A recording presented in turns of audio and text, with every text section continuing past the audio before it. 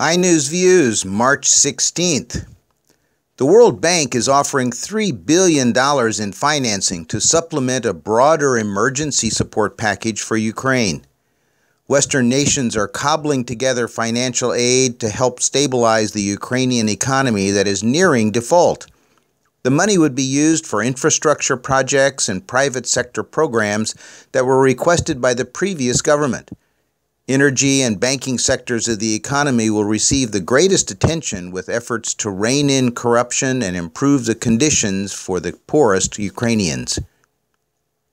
Japan has backed down from its earlier statements suggesting it would review the 1993 Kono apology, bowing to pressure from South Korea and possibly the U.S. to improve relations between its Far East allies one of Prime Minister Abe's cabinet members announced that the government will not publicly change its admission that the imperial military forced women into sexual slavery. Some analysts report that Japanese officials will be reviewing the issue in secret to appease right wing supporters. Culturally themed libraries are being designed with trend setting exteriors and interiors that provide Koreans with inspiring spaces to enhance their quality of life. An incredibly diverse collection of books, magazines, artworks, and even comic books are available for visitors to read and borrow. Some even have big screen TVs for viewing movies or individual screens for enjoying a cartoon. Perfect for study, reflection, or fun, today's Korean libraries have something for everyone. Food security is a concern for the Asia Pacific region, according to a new report from the UN.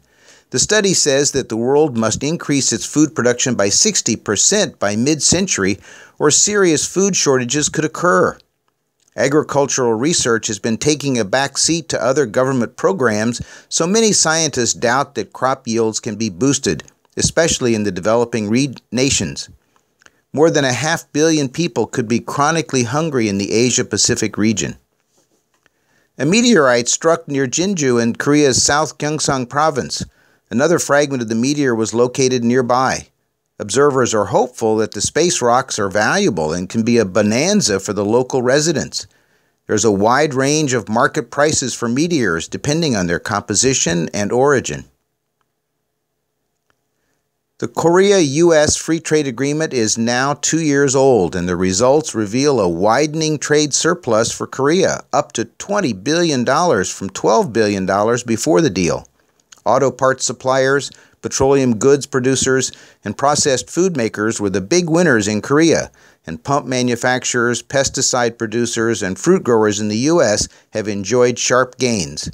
Trade with the U.S. has grown more sharply than in any other of the global markets plied by Korea.